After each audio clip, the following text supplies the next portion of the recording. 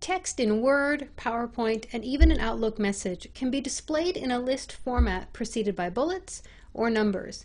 These programs all tap into the same basic bullet and number options, which are all displayed on in the paragraph group on each application's home tab, except in the case of Outlook, and in that case it'll be on the message and the formatting tabs, because you only see those tabs, those ribbon tabs, when you're actually um, typing, editing, replying to, or forwarding a message.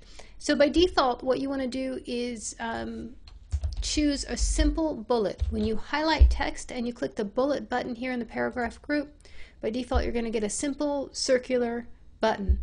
But if you click the option next to the bullet group, or click the arrow rather next to the bullet option, you can choose from the bullet library and apply a different bullet style. I'm just going to flip over to PowerPoint just so you can see it in another program, see that it all works the same way to talk about uh, numbering. Now numbering works very similarly. You select the text first, then you click the numbering option to apply standard numbers. In this case, it'll just be 1, 2, and 3. But you can click the arrow next to the option and choose a different numbering style. Maybe you want to use letters uh, or Roman numerals. You can do that here from the numbering list.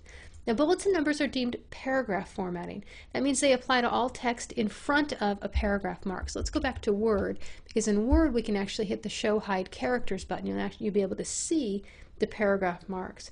So what this means though is that in order to format the actual bullet, you have to select the paragraph symbol. So for instance, if I were to highlight this line of text here, and let's make it red, okay? It only affects the text, it doesn't affect the bullet itself.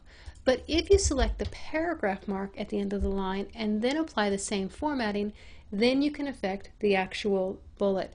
So this is uh, a great way to increase the size of your bullets or decrease the size of your bullets without really affecting the text on the bullet line.